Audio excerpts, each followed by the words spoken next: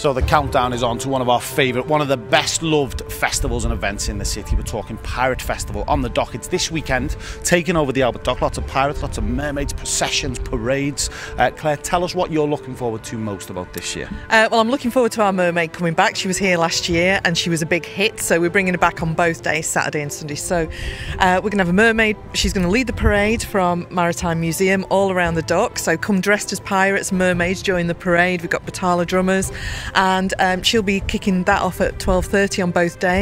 Obviously we have the big pirate battle, the big spectacle here, 3 o'clock, and it's in the Albert Dock, and we've got the Phoenix coming that was in Poldark, so famous ship.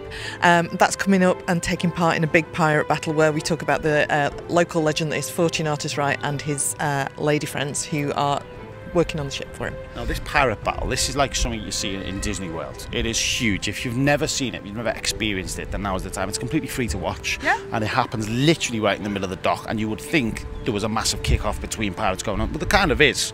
Who does that? Who comes up with it? Who puts it all together? Uh, we use a company called Fit the Bill, and they are really experienced in working in venues such as the West End and Warwick Castle and things like that. So they do a lot of this kind of big family, all-out entertainment type show. So they're bringing in actors, some of whom have been in things like the Hunger Games and Game of Thrones, and they come. We have got a narrator who will sort of talk you through and tell you when to cheer for the goodies and boo for the baddies. Uh, lots of sort of special effects and things to make it feel like you, you really are part of a pirate battle. It really is phenomenal. So make sure you check that. Have we got times for the battle?